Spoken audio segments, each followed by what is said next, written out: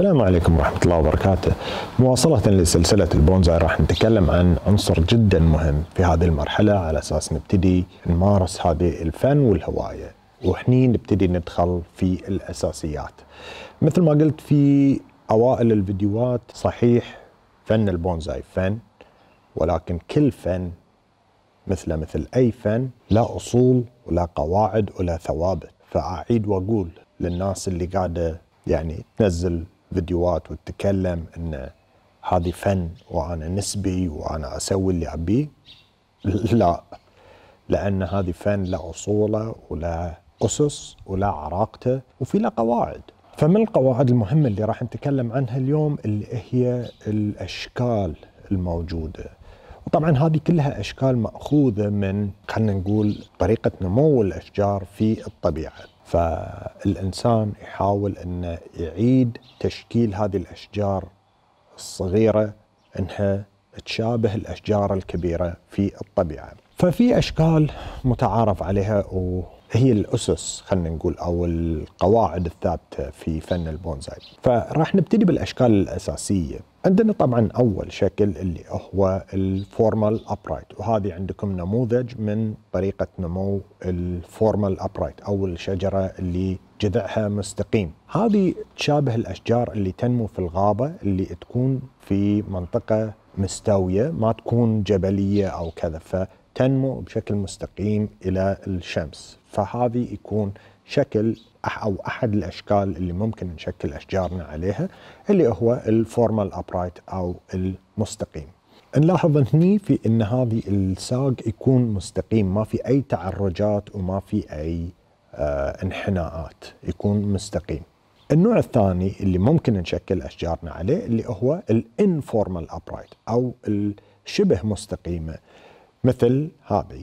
طبعا عموما الساق متجه إلى الأعلى ولكن في شوي تعرجات وهو يصعد إلى الأعلى. هذه شوي يمثل الشجرة اللي في الطبيعة واجهت مشاكل وصعوبات من انكسار وبعدين ترد توجه نمو وتنحني وتشكل. فهذه شكل ينوجد في الطبيعة ولكن يبين الصعوبات اللي مرت فيها الشجرة مع الوقت ومع السنين. هذه شوي تكون أجرب إلى آه، خلينا نقول آه، يعني أساس الجبل ما تكون فوق في الجبل ولكن ما تكون في مكان جدا آه، مستوي شوي أقرب إلى الجبل.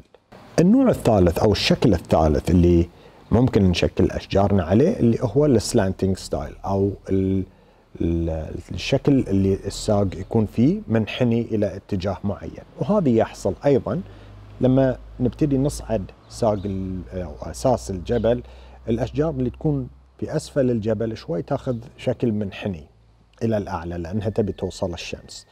فهني شوي الساق يكون منحني ولو إنه مستقيم إلى حد ما يكون منحني يعني ما يكون بهذه الزاوية يكون في انحناء ويتشكل بهذا الشكل. طبعا هني في شوي حرية إنه يكون 100% مستقيم أو يكون في تحركات ولكن الساق عموما ماخذ زاوية من الأرض. فهذه هو ال slanting style أو الشكل المنحني. في عندنا أيضا من الأشكال اللي موجودة اللي هو يسمونه ال windswept أو الشجرة اللي يعني ميلتها الرياح بسبب إنها تكون على رأس الجبل والرياح تدفعها باستمرار فالشجره تنمو بشكل مايل مع بسبب إن الهواء دائما يضغط الأغصان فالأغصان تنمو بهذه الشكل المتموج مع الهواء. فهذه أيضا من الأشكال اللي ممكن نسويها اللي هو ال windswept أو الشجرة اللي دفعها الهواء.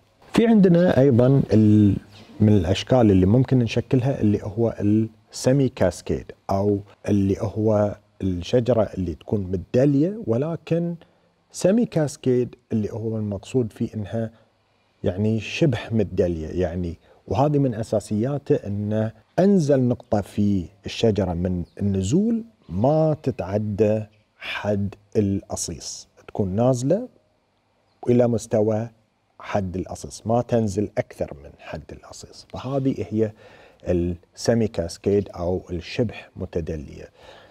النوع اللي جدا جميل لما يتقن اللي, اللي هو فول كاسكيد أو الكاسكيد أو الشجرة اللي تكون متدلية بالكامل. وهذه أساسه إن يكون في راس وأغلب الشجرة نازل ومتعدي حد القصيص ونازل أكثر. فعادة في أشكال ممكن نبحث عنها في النت نشوف الشجرة نازلة عن القصيص بكثير. وهذه عادة يمثل الأشجار اللي تنمو في جهة من الجبل فالجاذبية تسحب الأغصان إلى الأسفل وتكون بهذا الشكل. فهذه أيضا أشكال طبيعية ومثل ما قلت لأن بسبب اختلاف البيئة والطبيعة يمكن إحنا في الخليج ما نشوفها بهذا الشكل آه، لأن يعني ما عندنا غابات في الجبال وكذا. ولكن في دول ثانية هذه موجود هذا الشكل وهذه ال style. وأنا أشوفها من الأشكال الجميلة جدا. وهذه من الأشكال اللي نحتاج نضيف wire ونشكل ونوعا ما شوي نجبر الشجيرة أن تنمو بهذا الشكل. من الأشكال أيضا اللي ممكن إحنا نشكل أشجارنا عليها اللي هي ال twin trunk أو الشجرة اللي فيها ساقين. يعني من نقطة واحدة في كأنه جذعين نامين من نقطة واحدة. هذه النوع من التشكيل الساق يكون يعني شبه مستقيم عادة يكون فيه يعني. ولكن آه، في بعض الفنانين اللي وصلوا مراحل عالية من الاحتراف آه، يستخدمون هذه ال twin trunk أو الساق المزدوج في تشكيل شوي مختلف. وهذه يعني من الأساليب المتطورة جدا. ولكن مثل ما قلت الساقين المزدوجين أو ال twin trunk من الأشكال اللي موجودة أيضا. عندنا أيضا من الأشكال اللي ممكن إحنا نسويها اللي هي الغابة أو ال forest penjing تكون في عادة صحن أو أو قصيص يكون يعني رفيع ولكن عريض وتكون في أشجار كثيرة على أساس اللي تشوف التشكيل أو الأشجار بهذا الشكل تبين لك كانها غابة مصغرة من الأشجار، طبعا هني الأشجار ممكن تكون مستقيمة informal upright أو slanting أو كذا يعتمد. ولكن عادة إحنا لما نقول forest style تكون عادة أقرب للاستقامة. style مشابه للغابة أو ال forest penjing اللي هو ال raft. ال raft آه، أو اللي هو يعني لو ترجمناها حرفيا تكون عادة القارب أو يعني القارب المسطح اللي هو ينمو الساق وبعدين ننزل الساق على الأرض ونخلي الأغصان منه تنمو كأنها شجرة. يعني بسبب العوامل سقطت إلى الأرض وبدأت تنمو منها أغصان وهذه الأغصان صايرة كأنها آه، شجيرات أو أشجار. فهذه أيضا تنحط في صحن أو قصيص يكون شوي آه، طويل إلى حد ما ويكون شوي رفيع ما يكون غزير. من الأشكال أيضا المستقيمة اللي عادة تكون شجرة واحدة اللي هو ال broom style. مثل ما إحنا شايفين فيكون راس الشجرة كأنه راس مكنسة. فلهذا السبب يسمونه broom لأن يعني تشبيها بالمكنسة فيكون راس أو يعني غطاء الشجرة يكون كأنه مكنسة. آه، يعني بالمقلوب. فتكون ماخذة شكل آه، مكنسة. فهذه يسمونه ال broom style من الأشكال أيضا اللي جدا جميلة وتحتاج صبر وتحتاج شغل على مدى السنين علشان نطور هذا الشكل اللي هي root over rock اللي هي الجذور اللي تنمو فوق الصخرة مثل ما إحنا شايفين في الصورة.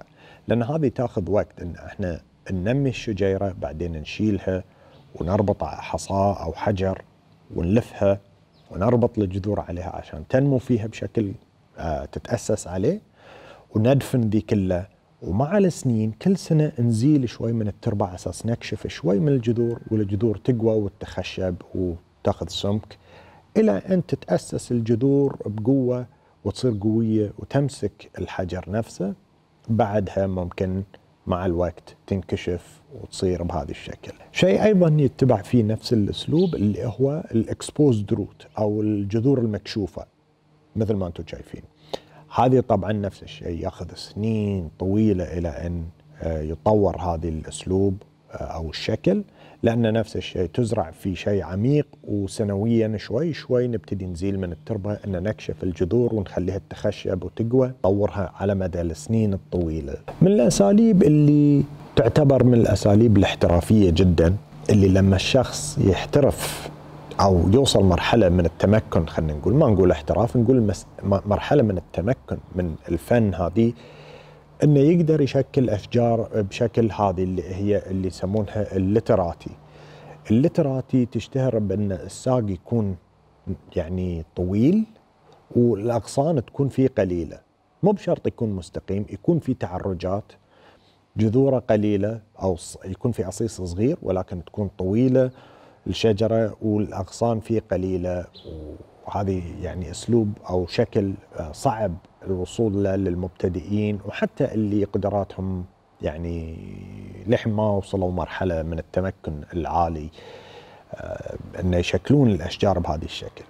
طبعا في أشكال ثانية إحنا ممكن نتكلم عنها ولكن هذه الأشكال الرئيسية الأساسية اللي حاب أبينها لكم علشان نفهم إحنا الشجرة هذه اللي أنا راح أشكلها راح أشكلها في أي اتجاه أو في أي style أنا حاب إنه أنتهي بهذه الشجرة. طبعا مثل ما قلت لكم في الفيديو اللي فات لما طاحت عندي الشجرة وانكسر الغصن احتمال إن أنا أحيانا بسبب هذه الظروف أو هذه الأشياء اللي تصير أو عموما بسبب إن الأغصان قاعدة تنمو بشكل معين أحتاج ان أغير من style إلى style معين وهذه طبيعي يسوونها حتى المحترفين يسوونها.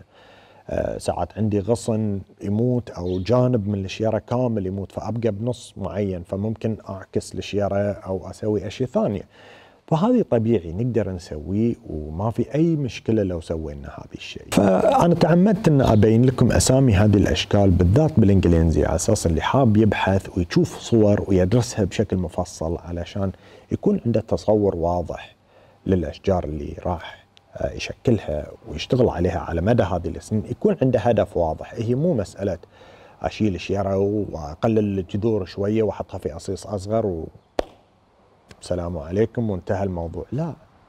فلازم يكون التصور واضح بالنسبة حق الشجرة وشنو أنا حاب أن أحصل من هذه الشجرة ووين حاب أنتهي آه، أو الشكل الشبه نهائي لهذه الشجرة. فلما يكون عندنا هذا التصور الواضح نقدر نشكل أشجارنا بشكل أحسن ونفهم الأساسيات شوي أكثر.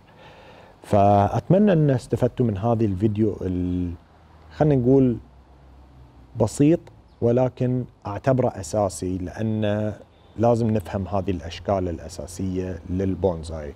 قبل لا نبتدي نسوي أي شيء ونقول بس هذه الأشياء هي بونزاي وخلاص. لازم يكون عندنا هدف واضح. اللي عنده أي سؤال أو أي استفسار ممكن يتركه في قسم التعليقات وإن شاء الله راح أحاول أجاوب أسئلتكم بأسرع وقت ممكن. وأشوفكم إن شاء الله في الفيديو الجاي. في أمان الله.